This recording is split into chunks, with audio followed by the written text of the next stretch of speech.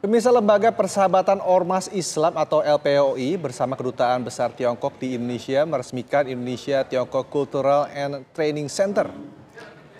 Pusat Pelatihan Kebudayaan Indonesia Tiongkok ini didirikan dengan harapan agar dapat memberi manfaat sebagai pusat pelatihan bahasa, pertukaran kebudayaan, pelatihan kemampuan antar pemuda Indonesia dan Tiongkok.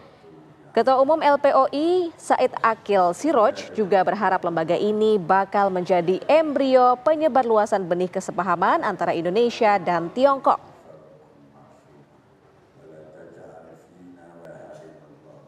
Upaya LPUI, Lembaga Persatuan Ormas Islam, untuk membangun, memperkuat budaya, peradaban, kemajuan antar kita terutama umat Islam dengan umat Islam di Tiongkok. Karena hubungan budaya jauh lebih bermanfaat, lebih penting daripada hubungan politik. Kita lepas dari politik, jauh dari hubungan politik. Siapa saja yang bisa bergabung? Ini LPUI ini, LPUI lembaga 14 ormas Islam yang yang berdiri sebelum adanya negara, sebelum merdeka, sebelum